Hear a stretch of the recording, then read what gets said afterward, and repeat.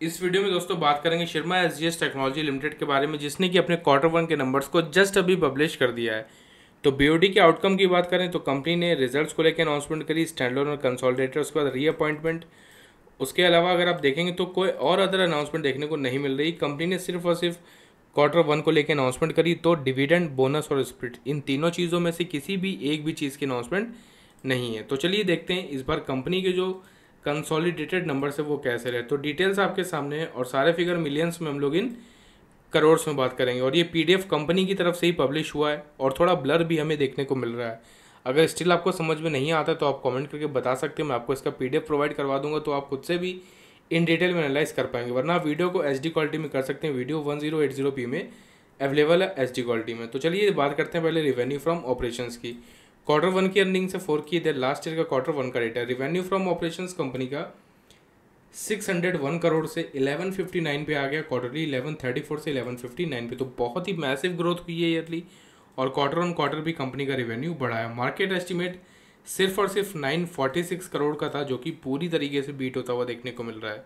Then उसमें आप net gain on foreign currency fluctuations और अदर इनकम को ऐड करेंगे तो आएगी टोटल इनकम जो कि टू सिक्स ट्वेंटी थ्री से इलेवन सेवेंटी फाइव पे आ गई क्वार्टरली इलेवन फोर्टी नाइन से इलेवन सेवेंटी फाइव पे। तो क्वार्टर प्लस ईयरली दोनों ही जगह इनकम बढ़ी है कंपनी की। देन एक्सपेंसेस की अगर बात करें, जो कि होते कंपनी के खर्चे तो 582 से 1145 पे आ गए ईयरली और 1088 से 1145 पे क्वार्टर ऑन क्वार्टर जिस तरीके से इनकम बढ़ी तो एक्सपेंसेस भी क्वार्टर प्लस ईयरली कंपनी के बढ़ गए। देन डिस्कस करते हैं टोटल प्रॉफिट या लॉस फॉर द पीरियड कितना हुआ। तो लास्ट ईयर क्वार्टर वन में कंपनी का जो प्रॉफिट था वो ट्वेंटी एट करोड़ का था, वो इस बार सिर्फ़ और सिर्फ़ ट्वेंटी करोड़ पे आ गया और क्वार्टर फोर में फोर्टी फाइव करोड़ के प्रॉफिट थे, वो इस बार ट्वेंटी पे आ गए। तो प्रॉफिट में इस बार दोनों ही जगह काफ़ी बड़ी गिरावट रही क्वार्टर और ईयरली दोनों ही जगह और मार्केट का estimate twenty eight crore two lakh का था, जो कि पूरी तरीके से मिस होता हुआ देखने को मिल रहा है।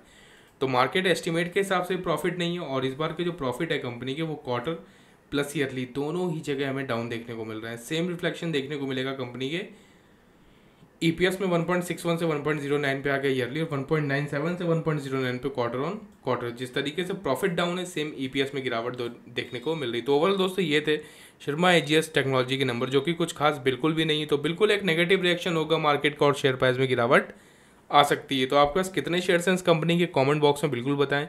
तो मिलते हैं किसी और वीडियो में, किसी और अपडेट के साथ। तब तक के लिए बाय